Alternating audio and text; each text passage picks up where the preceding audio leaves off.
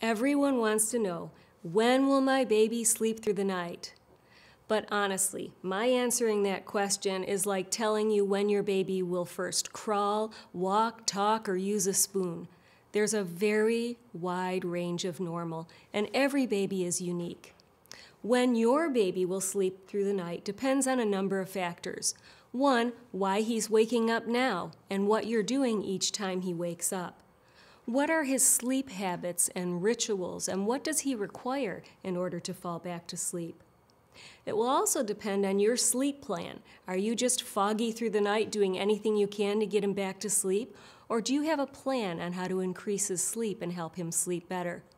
But the biggest issue of all is your baby's own biology. Just like all adults sleep differently from one another, babies all sleep differently from each other as well.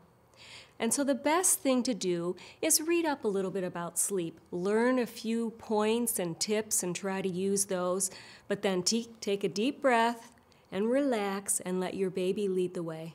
People may set you up with an expectation that your baby should be sleeping through the night at three months or four months because someone else's baby did.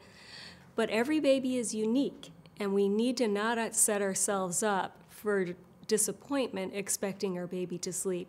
I have four children, and they all slept very differently from one another. I had one who didn't sleep through the night till she was almost two, but I had another that almost came home from the hospital sleeping all night long, and in her 20s, she still loves her sleep. So we don't want to look at other people's babies because it may be that particular week that baby is sleeping through the night, but ask them next week when they're waking up again. So we need to just relax. That first year or so, your baby may sleep through some nights and not others. It may take him a little longer to reach sleep maturity, but you need to just follow your baby's lead on this, and he'll know when he's able to sleep through the night without your help. You'll be tired that first six months to a year, but it passes so quickly, so be patient.